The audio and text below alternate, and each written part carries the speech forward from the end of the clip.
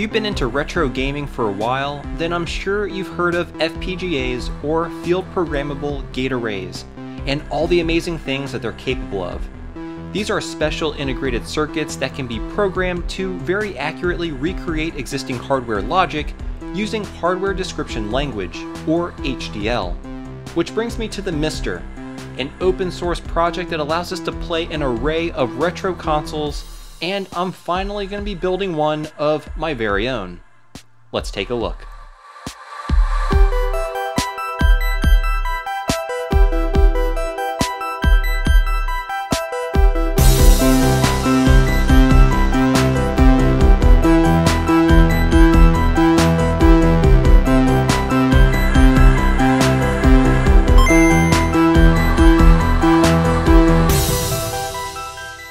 Hey everyone, how's it going? My name is Tito and welcome to another episode of Retro Renew. Today, I'm finally going to make my very own MiSTer FPGA console. The focus of this video is going to be primarily on the building aspect. I wanted to make something that is both easy and unique. When shopping around for the parts that I would need for this project, I really couldn't find any cases for the MiSTer that really interested me. Most of the cases that I liked were primarily one-off creations made by enthusiasts, which I couldn't purchase myself. So I decided to build a custom case of my own. And in doing so, I had four primary goals. First, I wanted the build process to be easy. I wanted to be able to pretty much build this with just the tools that I have, and I really didn't want a complicated design. Second, I wanted the parts for the case to be relatively cheap, nothing too fancy. Third, I wanted to of course look cool. Now, granted, this is completely relative, and what I think looks cool, you may not.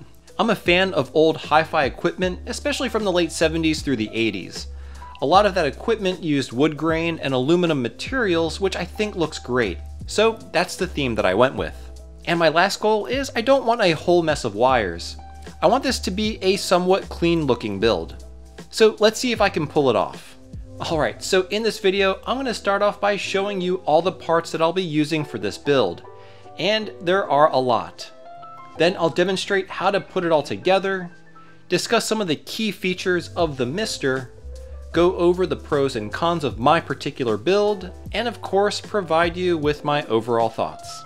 Now I have a lot of parts for this project. First I'll go over all the electronic components that I'll need, then I'll go over the materials I bought for the case. Starting with the most important part of this entire project, I have here the Terasic DE10 Nano. In this box, you get the board with the FPGA, which is the brains of the entire project, and you get this power adapter. This here is the heatsink for the FPGA chip. It will help keep things nice and cool. Next, we have the MiSTer I.O. board. This adds quite a bit of functionality to the build, such as analog video out via the VGA connector. This is a must if you plan on using this on a CRT. This is the USB hub, which is also vitally important as it'll allow you to add many peripherals to your build, such as a Wi-Fi and Bluetooth dongle.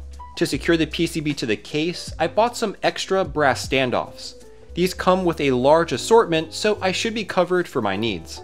Here we have the RAM module. This is important as all your saved cores will be loaded here. If you want the most flexibility and compatibility with different cores, you'll want to opt for the largest one, which is this 128 megabyte module. This Wi-Fi adapter is totally optional since there is an Ethernet port on the FPGA board, but it does make things more convenient. You can FTP games to the MiSTer and update the cores wirelessly. The Bluetooth dongle is in my opinion an absolute necessity. Being able to use any Bluetooth enabled wireless controller adds quite a bit of flexibility to the MiSTer, and nowadays no one wants to be tethered to their console. Of course, you'll need an SD card. This will hold the MiSTer OS, cores, and your games. I opted to get a 64GB card since the majority of the games I'll be playing are 16-bit and don't require too much space. This here is a splitter for the included power adapter. It also incorporates a switch so you can turn the MiSTer on and off without having to unplug it from the wall. This USB micro adapter is specially designed to connect the USB hub to the FPGA board, which we'll actually be modifying for my particular case design. Speaking of which, onto the parts for the case. The first thing we have is this wooden plank that I bought from an Etsy seller. It's 9 by 6 inches and 1 inch thick. It already came stained and treated to have this really nice dark finish. Here is a plexiglass sheet that is also 9 by 6 and will serve as the top. It will add a small layer of protection to the console. These are some large standoffs for the plexiglass. These will suspend the plexiglass on top of the wood plank and the electronic components. The aluminum finish will also add to the retro hi-fi look. These are some AV isolation feet, again to really give the Mister that retro hi-fi look, and also so that the console isn't just resting on the wooden plank. Because both the AV isolation feet and the large standoffs didn't come with mounting screws, I'll be using these. I just had these spare screws lying around, but I do think they'll be perfect for this project. And lastly, I bought this awesome MiSTer FPGA badge to really finish things off and give it somewhat of a polished look. Wow, that is a laundry list of things. But don't worry, I'll have everything I just went over listed in the video description below if you're interested. Anyway, now that we've seen all the parts I'll be using for this Mister build, let's start putting this thing together. So the first thing we need to do is prep the DE10 Nano board. To do that, we need to remove the four Phillips screws securing the plexiglass top. Then unscrew all the brass standoffs.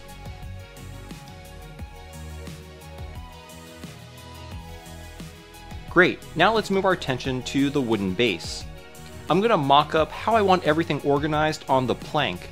I'll arrange the FPGA board, USB hub, and large standoffs and get them to their approximate location.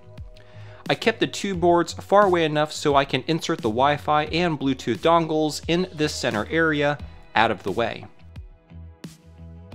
Now with a pencil, mark all the areas that will need to be drilled for various screws and standoffs.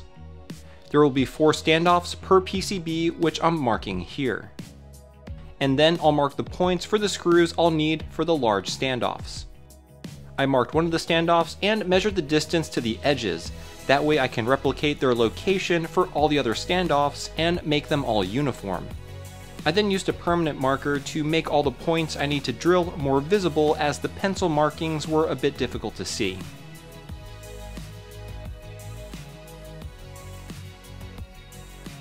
Once everything is marked, I'll be using my small drill press to drill holes for the large standoffs at each of the four corners.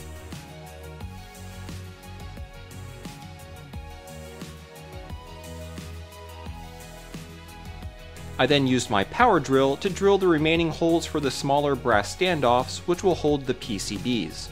The blue painter's tape is there to ensure I don't drill down too far. Now the last set of holes I need to drill are for the AV isolation feet on the bottom. After I make my measurements, I can drill the necessary holes. Great, now we can fasten the isolation feet to the bottom of the plank.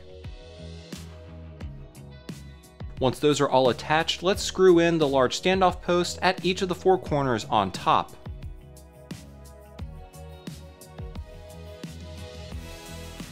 Once those are installed, let's fasten the eight brass standoffs to the plank.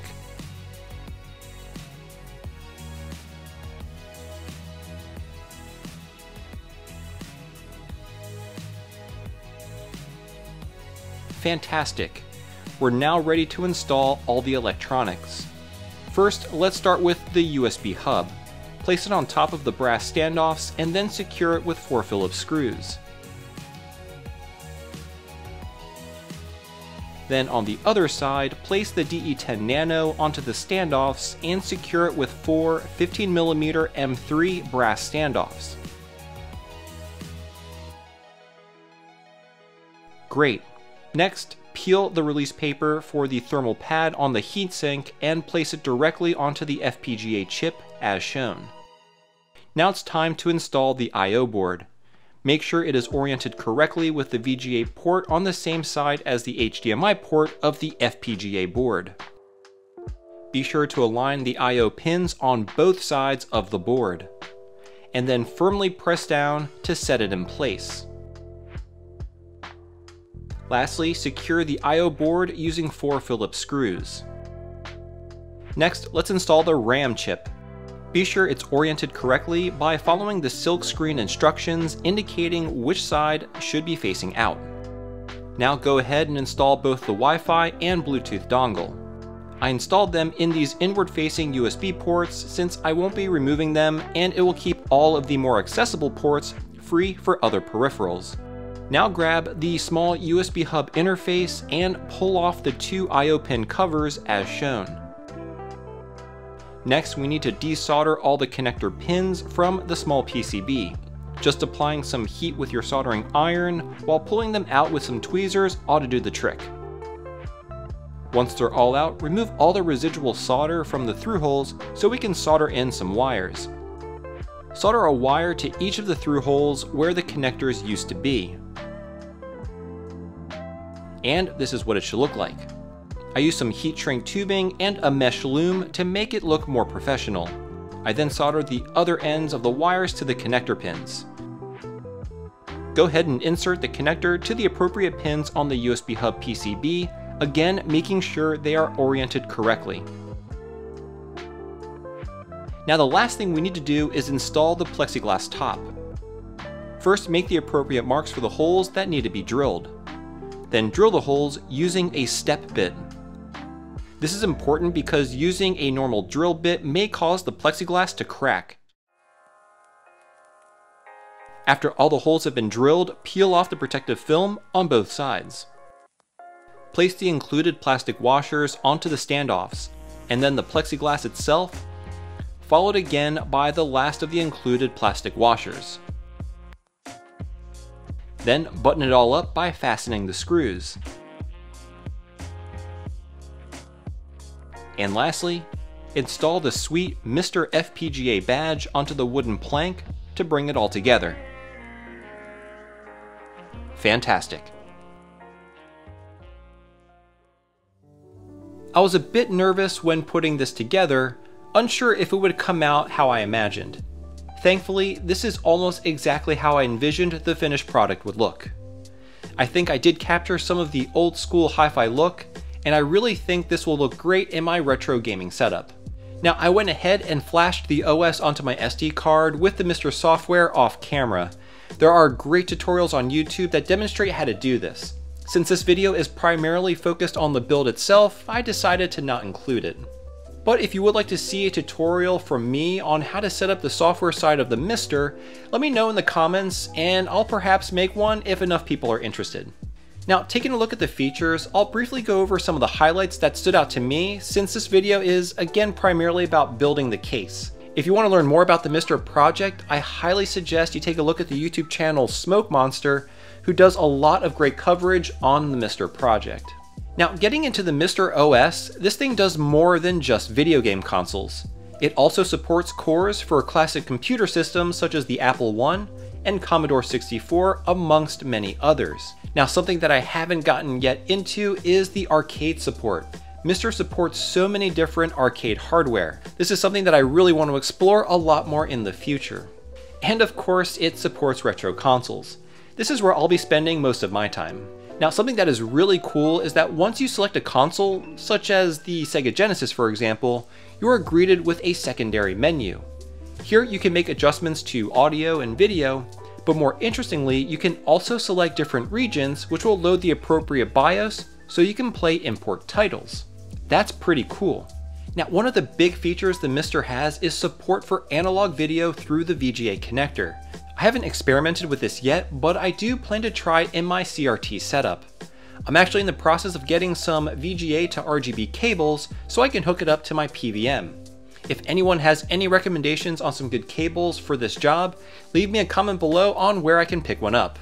Great, so now that you have an idea of some of the features of the MiSTer, let's go over the pros and cons. Starting with the pros, first and foremost, I love how the case came out. I think for the most part I achieved that old school hi-fi look, which should fit right into my retro setup. I also really love how flexible the MiSTer platform is. I can output video through HDMI and analog via the VGA connector. It just gives you a lot of options. Also, the flexibility of being able to use almost any wireless controller is great. Conceivably, I could use some of my 8BitDo controllers for a more authentic feel based on the console I'm playing. Pretty neat stuff.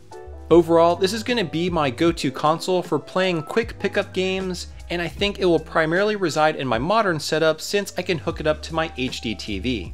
Speaking of which, the video output quality is incredible.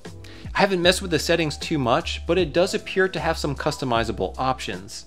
As is though, the output is immaculate. Here are some examples of video quality for a few of my favorite titles.